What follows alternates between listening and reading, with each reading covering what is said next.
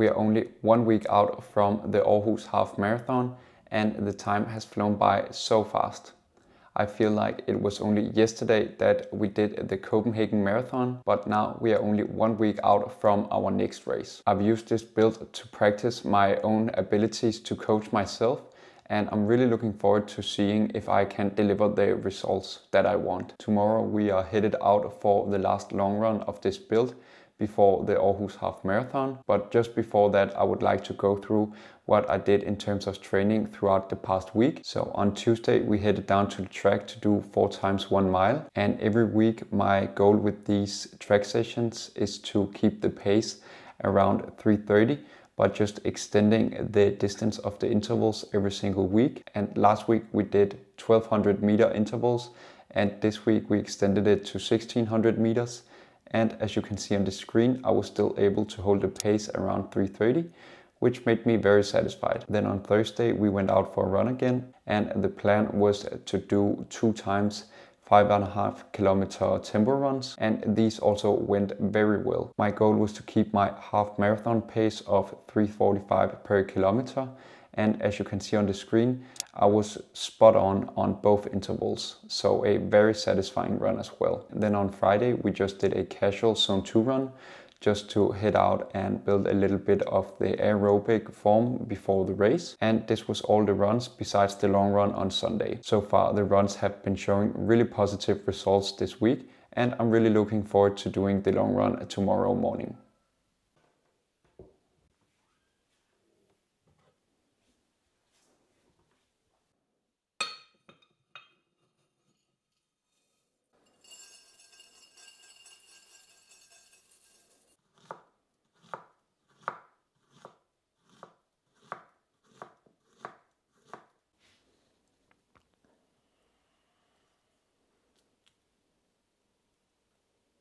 Every weekend I always practice my nutrition surrounding my long run and as most of you know I really enjoy eating oatmeal with a sliced banana on top because that is just what sits best in my stomach.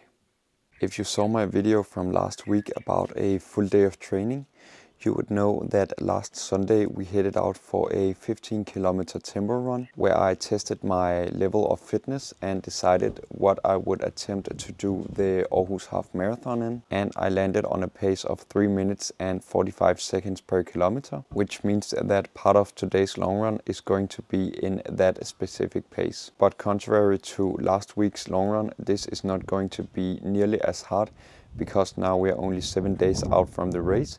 So I'm not trying to build any more fitness. I'm actually just trying to sustain what I have. And this specific program for today is just going to start by a few kilometers of warm up. And then we're headed into four times three kilometers in half marathon pace with one kilometer of easy running in between each of the intervals. And then to end off the training, we're just going to cool down for a few kilometers again.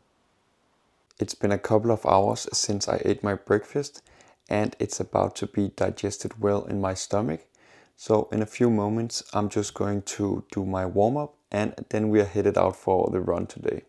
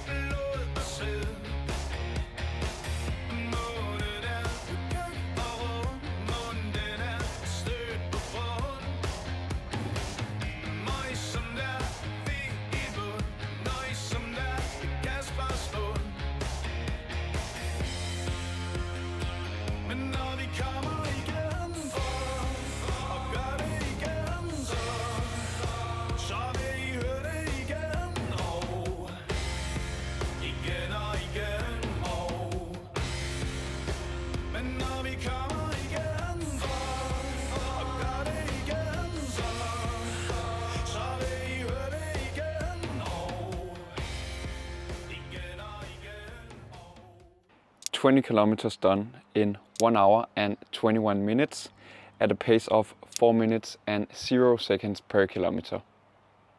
As most of you know, I always emphasize my post-running nutrition and I always focus on getting a quick and nutritious snack in the system right after my long runs. And my go-to is of course my own homemade recovery bars, but because I'm at my parents' house, I don't have any with me. So my go-to when I do not have my recovery bars is just a mix of either dates or raisins with some form of nuts because that's a good combination of all three micronutrients, which I believe is a great snack to get in the system to kickstart the recovery while I do my stretching. It's been a couple of hours since I finished the run and now I just wanted to give you a quick recap of how it went. And I know I said that I wanted to run the intervals in a pace of around 345 but my legs felt really good today so it was more like 340 than 345 and as you can see on the screen the first interval was completed in an average pace of 341 the next one was 339 the next was 340 and the last was 339 again. So a really successful run in the books one week out from the race and this was another great confidence booster. From now on the training will just be a taper until next Sunday where the magic is hopefully going to happen. I hope that I will see you in race week and besides that the only thing that I have left to do is just that I want to wish you a great rest of the day.